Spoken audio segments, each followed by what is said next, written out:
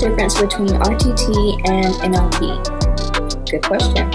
So, people who have heard of the RTT method but have not experienced it themselves sometimes think it sounds similar to NLP, neuro linguistic programming.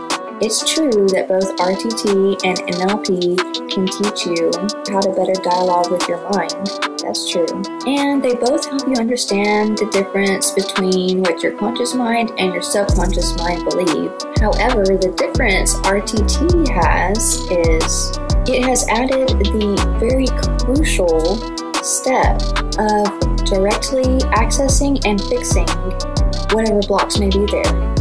It has the addition of the transformation, which Marissa Peer developed. So, using specific RTT methods, clients are able to reach breakthroughs that they would not be able to do with other techniques. So, that's all I have for today, guys. Have a to you all.